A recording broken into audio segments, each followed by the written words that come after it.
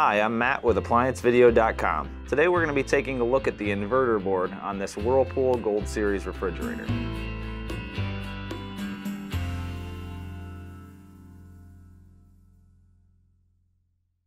Stop. Before beginning any repair, always be sure to disconnect the power to the appliance. It is also recommended to test the outlet for proper voltage. A defective inverter board would cause the compressor not to run. Its main function is to control the speed of the compressor. To gain access to this component, we must get to the rear of the unit. Click on the link below to view this repair video.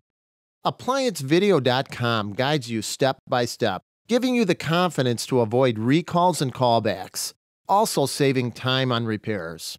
Whether you're up against an uncommon repair or the latest appliance on the market, our videos have been created with you in mind.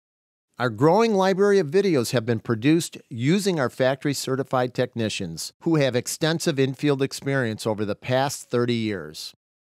ApplianceVideo.com provides high quality repair videos that anyone can follow, regardless of their skill level. We are here to help.